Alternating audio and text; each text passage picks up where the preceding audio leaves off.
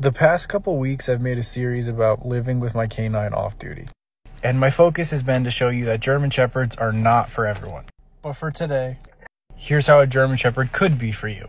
So if you're new here, I picked up Canine Mac about three weeks after my mom passed away. And as I begin to look back, I'm really not sure where I would be today if I didn't have the companionship Mac has given me. I try to incorporate Mac as much as I can into my everyday life. And my mom would say dogs are one of the many reasons you should smile today.